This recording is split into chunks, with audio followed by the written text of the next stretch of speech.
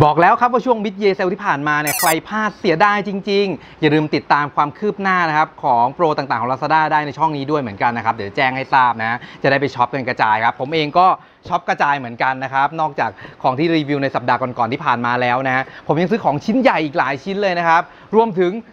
ปรินเตอร์ Canon ตัวนี้ด้วยครับสำหรับวันนี้ครับผมจะมารีวิวปรินเตอร์ Canon ที่ราคาถูกที่สุดใน Lazada ครับ Pixma IP 2770 ตัวนี้ราคาไม่ถึง 2,000 แถมมีแท้งหมึกมาให้ด้วย ส่วนคนที่อยากได้ครับ ผมใส่ลิงก์ไว้ให้ใต้คลิปวิดีโอนี้แล้วเหมือนเดิมเลยครับ นี่ครับแกะกล่องออกมาครับอุปกรณ์ต่างๆ ก็ถือว่าครบมากๆเลยนะ มีสาย USB นะครับ อันนี้เห็นเห็นนะละมาให้นะ คู่มือต่างๆ อุปกรณ์ตั้งค่าเริ่มต้นนะครับ แผ่นไดเวอร์นะครับ แล้วก็ตัวเครื่องนะครับ รุ่นนี้เนี่ยเขามีหมึกมาให้ด้วย ผมจะบอกว่าที่ซื้อนะ เพราะว่าเครื่องปริ้นตัวเก่าเนี่ย หัวพังครับ ถ้าจะต้องไปเปลี่ยนหัวเนี่ยราคา 2,000 นะฮะ ปรากฏว่าซื้อตัวนี้เนี่ยถูกกว่าเอาหัวเปลี่ยนหัวซะอีก ดังนั้นครับ ซื้อตัวนี้ครับ ใช้สักปีหนึ่งพังแล้วก็ซื้อใหม่ฮะ ก็ยังคุ้มกว่านะครับ เพราะนั้นก็ไม่ไม่ต้องไปซ่อมแล้วนะครับตัวเก่าปรินเตอร์ Canon Pixma IP 2770 ที่ผมสั่งมาวันนี้ครับ มาพร้อมกับแท้งหมึกครับ แล้วก็น้ำหมึกอีก 4 ขวดครับ และเขาก็แถมกระดาษ photo มาให้เราด้วยนะ ตัวนี้เนี่ยเป็นปรินเตอร์อย่างเดียวครับ ไม่สามารถถ่ายเอกสารหรือว่าซีร็อกซ์ได้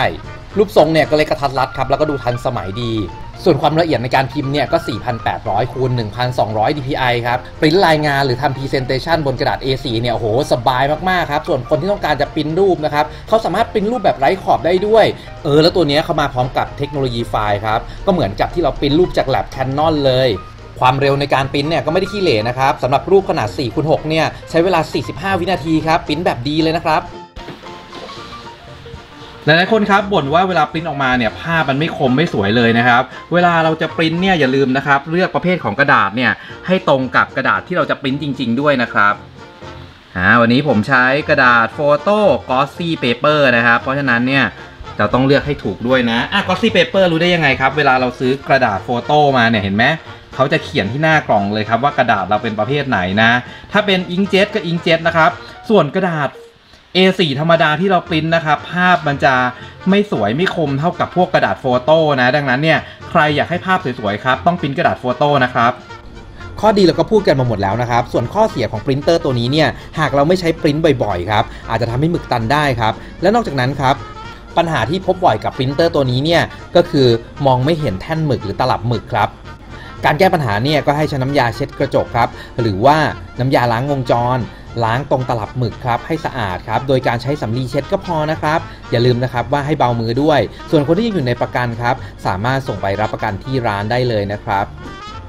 รูปที่ปิ้นออกมาครับ คุณภาพก็จะประมาณนี้นะครับ ก็ถือว่าใช้ได้เลยสำหรับเพื่อนๆที่อยากจะหาปรินเตอร์ไว้ติดบ้านครับหรือว่าสำนักงานนะครับผมแนะนำครับตัวนี้เนี่ยถือว่าราคาประหยัดมากๆครับ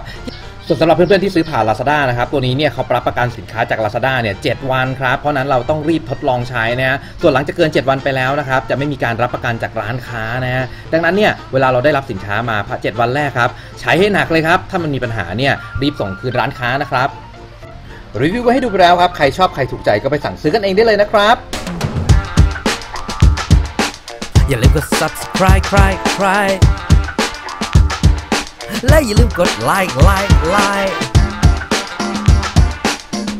แชร์กันไป แชร์กันไปให้ผมด้วยนะครับ